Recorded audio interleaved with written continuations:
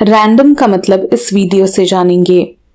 Random यानी यादृच्छिक, अनियोजित, अकस्मात या बेतरतीब। इसके तो एग्जाम्पल्स देख लेते हैं।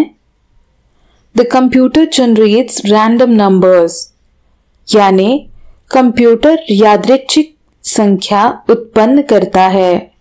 दूसरा example they made a random selection of winners यानी उन्होंने विजेताओं का यादृच्छिक चयन किया।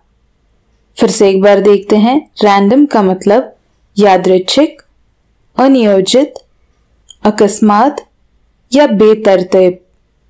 उम्मीद करती हूँ आपको यह मतलब समझ आ गया होगा।